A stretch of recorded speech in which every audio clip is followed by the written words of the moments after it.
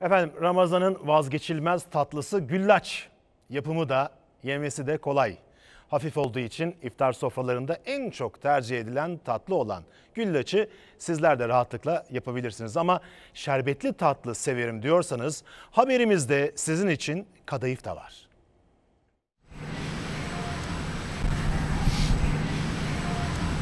Ham maddesi nişasta. Kalın olmaz yani bu ince olması gerekiyor. Tek tek bunları tepsimize döşüyoruz.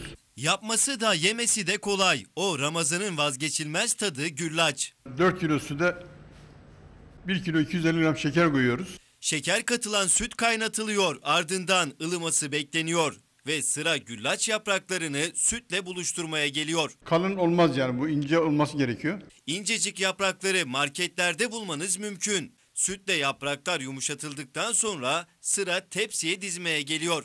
Tek tek bunları tepsimize döşüyoruz. Yumuşayacak. Kat kat güllaç yaprakları sütten çıkarılarak tepsiye dizildikten sonra her kata yine süt ilave ediliyor. Güllaçı dizdik, sütle iyice yedirdik. Ve sıra fıstıkta. Fıstığımız evet bol bol koyuyoruz. Fıstığın üzerine tekrar güllaç eklendikten sonra sıra kesmeye geliyor.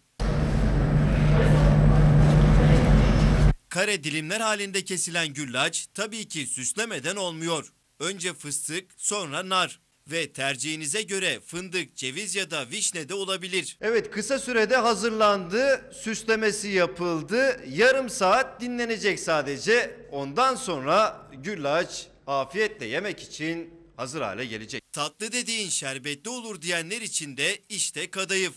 Antep fıstığı, tereyağımız, Kadayıfın olmazsa olmazları da Antep fıstığı ve tereyağı.